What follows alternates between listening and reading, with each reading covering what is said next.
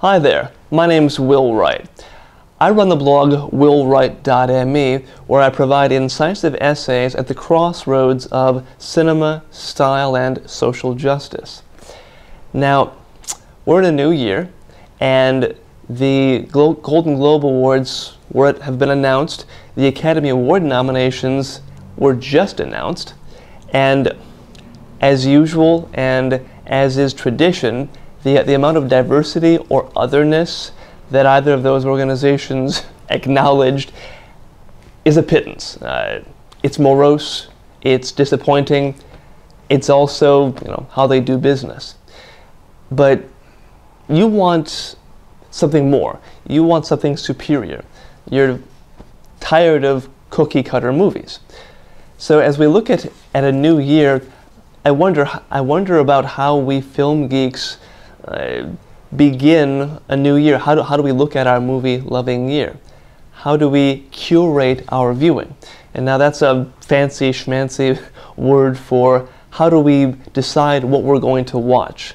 How do we uh, discriminate uh, from among all the, the, the bevy of really mediocre or downright crappy movies out there? Well, now, the, the, the first thing to, th to consider is your local film society or film festival, or hopefully film festivals and societies. Contact your, your film society or the film festival organization and find out when the, the, the, festivals begin and end and put those dates on your calendar. And then, uh, furthermore, uh, to take a step further, contact them and find out or offer to volunteer for the festival. Why? Uh, because when you do that, usually they give you free passes to watch uh, any movie you want. Uh, you can watch to, to, your heart's content. Uh, plus, you get to mix with other film geeks, other movie snobs.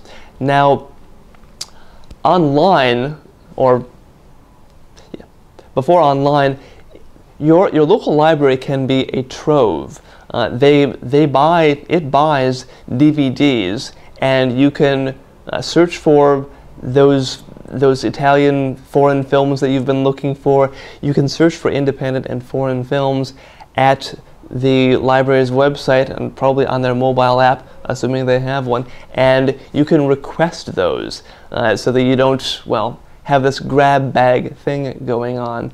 Now, uh, after that, go to the web and findmovie.com, not booby, not movie.com, but uh, it's called, it's, it's spelled M as in Mary, U, B as in boy, I.com. And it's basically a Netflix for movie snobs.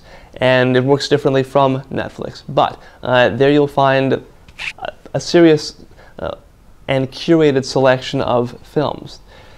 Then go to uh, Facebook and uh, find Film Movement which is like an advocacy but also production organization that concentrates on independent films. And then find the Independent Spirit Awards or Film Independent, which is the organization that runs those awards. Uh, like and follow them on Facebook. So you'll you'll know what what films need to be on your radar and uh, and then to put those on your calendar for whenever they're going to be at a cinema or on DVD. So but between those and your volunteering with the film festivals and finding and streaming films on Mubi.com, you should be good to go.